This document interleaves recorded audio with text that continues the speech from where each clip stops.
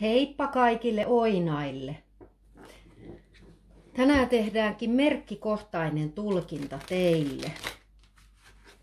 Ja jos tämä viesti ei resonoi sinulla, niin siellä on varmasti joku, jolle tämä viesti on tarkoitettu. Ja lähdetään kysymään, mikä viesti haluaa tänään tulla tärkeimpänä Oinaalle tiedoksi.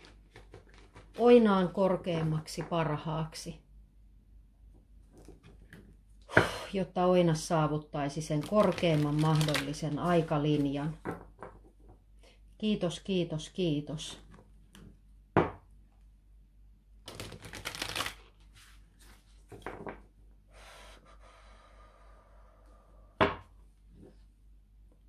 Sauvojen vitonen.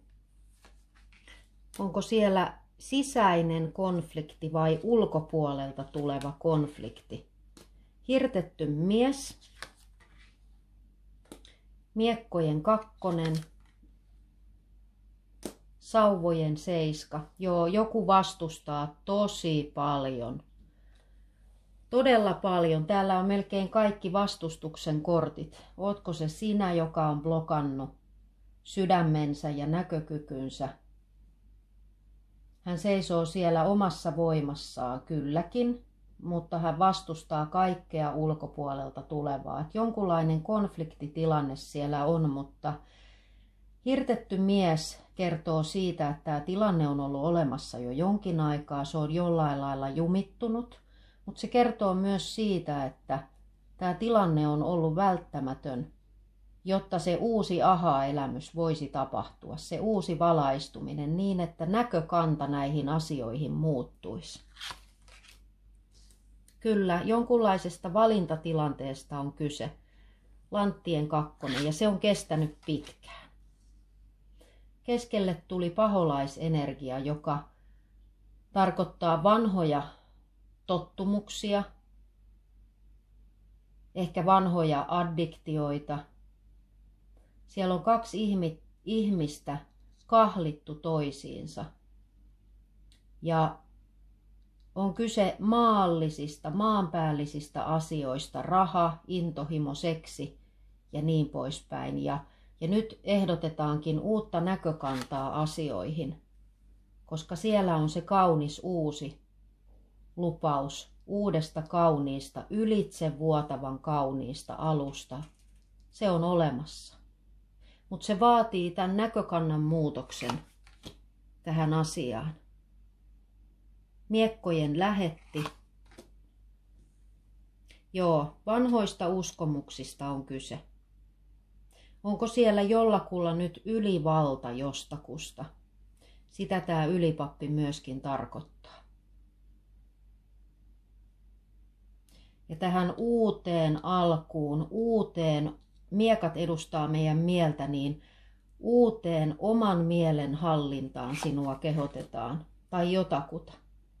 Sua kehotetaan ottamaan tällä voimakortilla se oma voima käyttöön. Voimakortti edustaa ihmistä,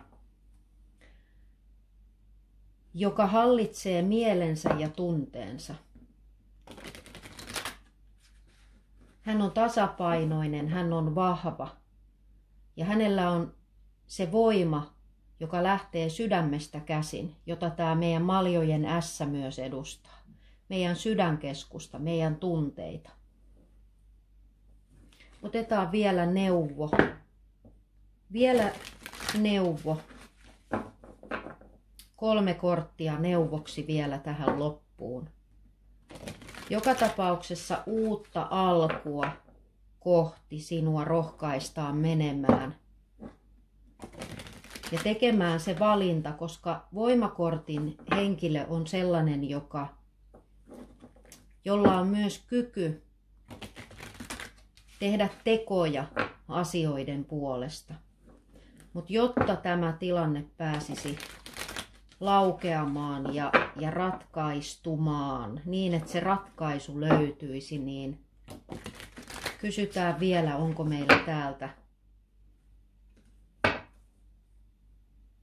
Ensinnäkin sua kehotetaan nyt jättämään se liiallinen taakka.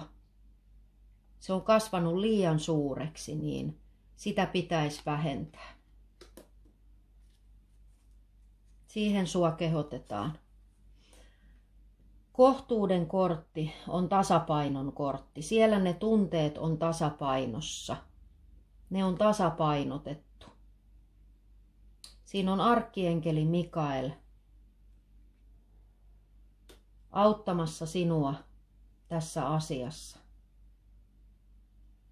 ja sen oikean valinnan tekemisessä, koska sitä valintaa on tehty jo pitkään.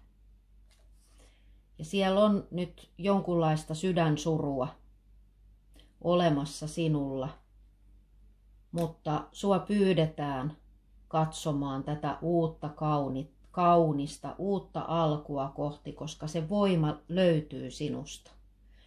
Ja tämä voimakortti on Tarot Pakan ainoa kortti, joka nimenomaan voittaa tämän devilin.